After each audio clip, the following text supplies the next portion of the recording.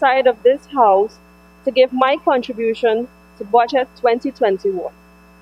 A path to recovery, economic dynamism, and resilience. A budget that truly reflects the epitome of visionary policies, plans, and programs of our government. It is one that will certainly see the resuscitation of our economy, the improvement of livelihood for all Guyanese, and most of all, one that will create a solid foundation for sustainable economic development that will help secure the future for many generations to come. Mr. Speaker, before I proceed further in this debate, permit me to register my sincere gratitude to the Honorable Senior Minister in the Office of the President with responsibility for finance, Dr. Ashni Singh, and his hard-working team for their unwavering dedication and commitment in preparing a people's budget. Mr. Speaker, after occupying my seat in this honorable house for the past three days, it is difficult to not notice the many delusional and misleading statements coming from the honorable members of the coalition opposition as they lauded the hard work and development undertaken by their government. Like every other Guyanese, I am convinced that the only hard work they have done was to work hard on destroying the economy of this country.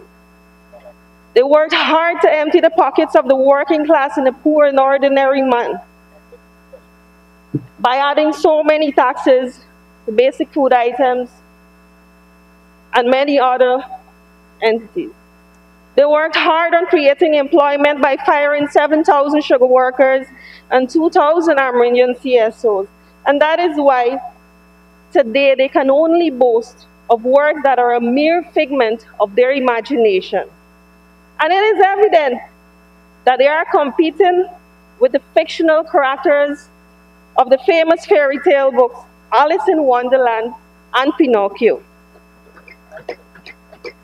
the distortions of their perception of change, a good life, and progress is insanely unbelievable and a blatant insult to the intelligence of every Guyanese and more so their own supporters. The untruths spewed by the coalition opposition is venomous and shameful, and it is sickening to see that the very political party that plundered the public's purse did nothing for our country stand there without remorse, knowing fully well that it was under their government many families went to bed without a meal. Persons lost their place of abode. Our school children drops, dropped out of schools. The dreams of many young people to attend a university, to achieve higher learning was shattered simply because the children of the cronies or party members became a high priority to my fellow young people and all right-thinking Guyanese. I implore you to remain cautious and conscious of what the APNU AFC coalition stands for. It is anti-progress, anti-cohesion, anti-youth development, anti-poor people, and most of all, anti-democracy. I wish to tell you always be reminded that it was under the very coalition government you did not enjoy a good life as promised. Opportunities and employment became foreign to them. Healthcare, education, agriculture, and major sectors collapsed under their watch. And most of all, democracy was under siege for five long months. Your basic right to freedom of choice was held hostage simply because of an uncaring and kleptocratic government. Be watchful. Our future generation must never endure what we endured under the APNU AFC coalition and certainly should never have their right to freedom of choice violated or held hostage. Mr. Speaker, I now turn my attention to the health sector.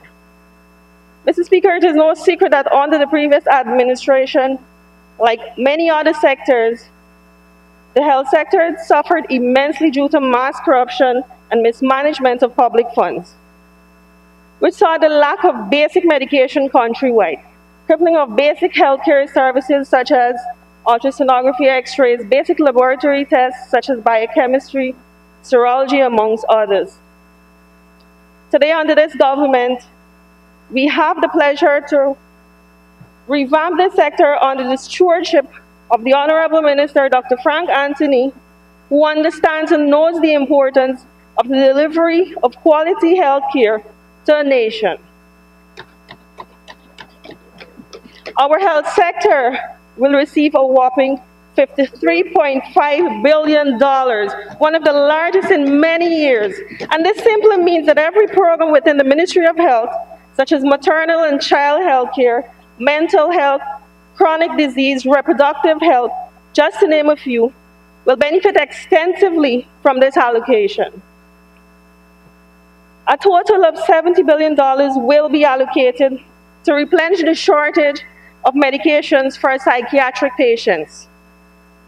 Additionally, programs will be implemented to address mental health and suicide prevention with an extension to hinterland communities.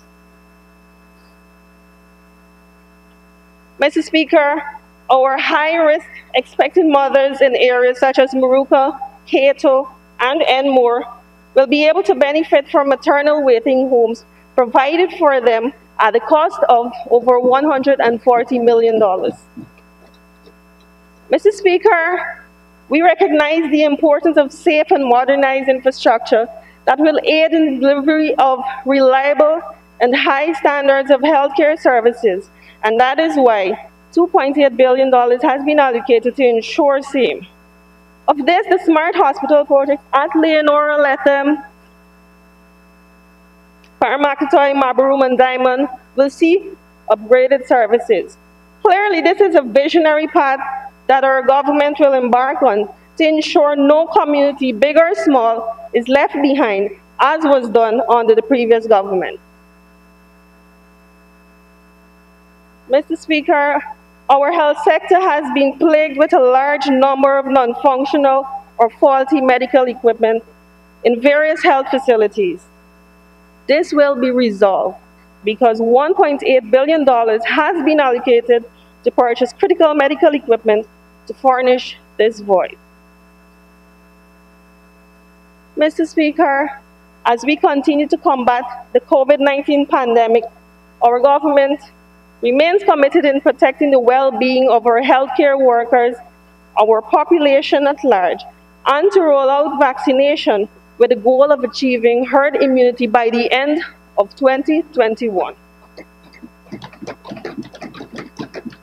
To show our appreciation, already our healthcare workers have received a two weeks bonus plus a $25,000 one-off cash grant, and this was also extended to all public servants. The accessibility to PPE sanitizing agents, COVID-19 test kits, and other medical supplies will improve significantly as compared to what was provided by the previous government at the discovery patient zero in mid-March 2020. Our administration has also acted responsibility, responsibly and ramped up testing from conducting 21 tests daily to over 200 tests with a capacity of over 2,000. Mr. Speaker, a total of $750 million has been allocated to support the rolling out of the COVID-19 vaccines, which will see healthcare workers, the elderly, and persons with comorbidities being the first recipients. And already, our healthcare workers have benefited from the first batch of the COVID-19 AstraZeneca vaccine.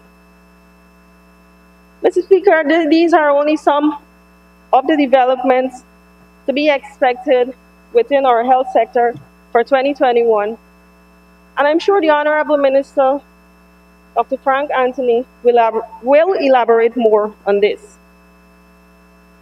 Mr. Speaker, as one of the geographical MPs representing region number three, I must say to mention that this region was neglected by the previous administration is an understatement because immediately after getting into office in 2015, Region 3 became completely invisible to them.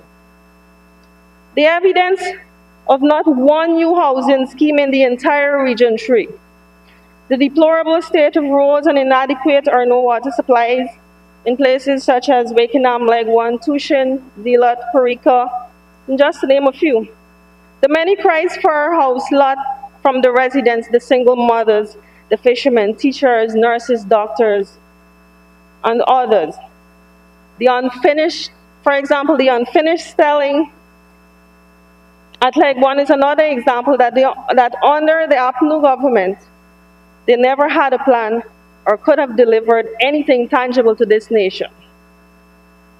Mr. Speaker, as we have discovered in our fact finding, it was found that two x-ray machines were placed at the Parika Health Center and the Leguan Cottage Hospital in a room with no electricity, no dark room, or even proper, proper paper trail of how they got there. The only information available was that they were placed there three years ago, non-functional and gathering dust.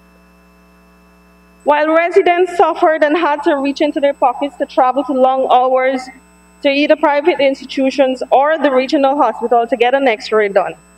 This is truly shameful. Mr. Speaker, this will no longer be the state of affairs under the PPPC government. Already road works have begun in Tuschen, Zeelugt, Wakenaam, and many other areas in Region 3, which is only, and this is only the beginning of the good things to come under our government. Mr. Speaker, on December 24, 2020, at a historical event of, of a Dream Realized housing drive held at the Leonora Track and Field, our honorable ministers of housing and water distributed 700 land titles, and over 1,000 persons received allocations for a plot of land. Mr. Speaker, this speaks volume of what our government stands for.